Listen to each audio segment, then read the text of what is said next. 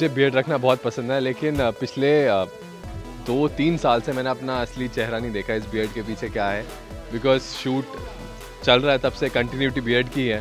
तो अब मैं मन तो है मेरा शेव करने का बट वो फिर एकदम से पाँच साल पीछे चले जाते हैं और बहुत ही बच्चे ऐसे लगते हैं।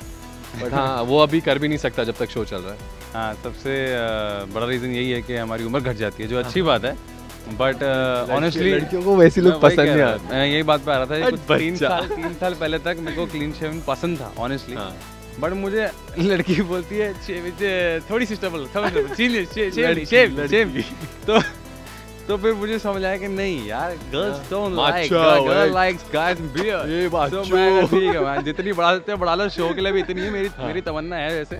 वो बड़ी वाली बड़ी वाली सेम है same I want to experiment हाँ एक्सपेरिमेंट करने के टीवी में हम कर नहीं नहीं कर सकते इसलिए अभी नहीं बट होपफुली कभी करेंगे। जब ये ट्रेंड पूरा खत्म हो जाएगा हाँ, फिर तब ये भाई हम दोनों भाई निकलेंगे बियर्ड बियर्ड प्रोज और एक ये होता है अब जैसे शो में बियर्ड है विच इज़ गुड अगर बियर्ड नहीं हो क्लीन शेव लोग को तो हर एक हर दूसरे दिन शेव भी करना पड़ेगा वो भी एक टास्क होता है। मेरा पुराना जो शो था ना ये राजश्री का शो उसमें मेरे को ना शिकायतें आती थी क्योंकि उसमें आई वाज प्लेइंग कॉलेज का लड़का। आई नो दैट हाँ तो सुबह तीन बजे मथुरा में शूट होती थी तीन बजे मैं शेव करता था। शाम तक हल्की हल्की आ जाती थी भाई हूँ तो मर्द ना।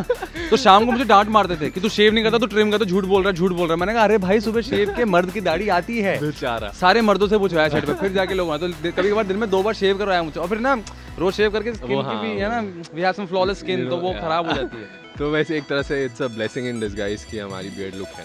कायम चूरन खाता है इसकी बियड बिल्कुल कायम रहती है। और हर हफ़्ते हम एक दूसरे के बियड पे तेल ऐसे ऐसे ऐसे हम लोग एक दूसरे को ना फेशियल देते हैं लिटा लिटा के ये देखिए ना ग्रोथ इसकी कितनी मेरा प्यार ज़्यादा है ये देखो कितनी अच्छी दाढ़ी मैं क्रीम अच्छी लगी क्रीम अपनी अपनी अपनी लाते हैं। इसलिए ये सस्ती लाते हैं इसलिए इसकी बढ़ नहीं बहुत बहुत घिसा है मैंने इतना ही ऊपर है। ये ज़्यादा पैसे कमा रहा है बेसिकली तो ऐसे करते हैं। तेल खत्म हो गया यार। मेरा चार्जिंग वाला है। मुझे बार बार चार्जिंग पॉइंट ढूंढना पड़ता है।